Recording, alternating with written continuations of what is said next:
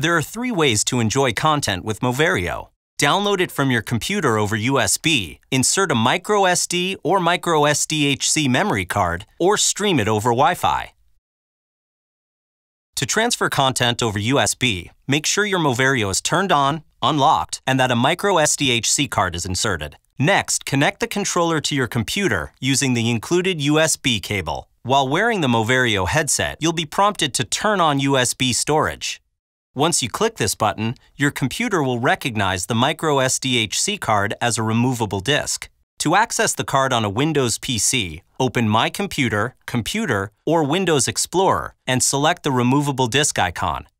From a Mac running OS 10, select the removable disk icon on your desktop.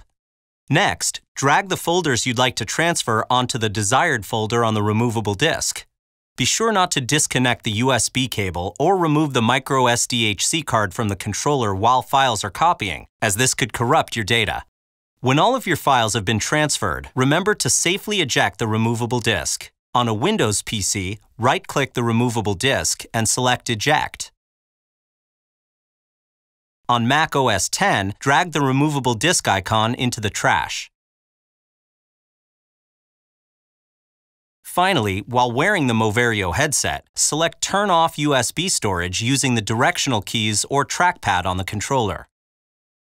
Content can also be copied directly to a microSD or microSDHC card from your computer.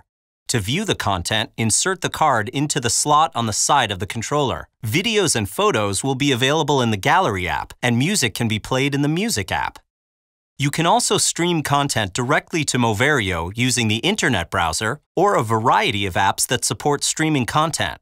To stream content, simply connect Moverio to any Wi-Fi network or hotspot you have access to. For more information about enjoying content with Moverio, visit www.epson.com/moverio. Moverio. Enhance your world.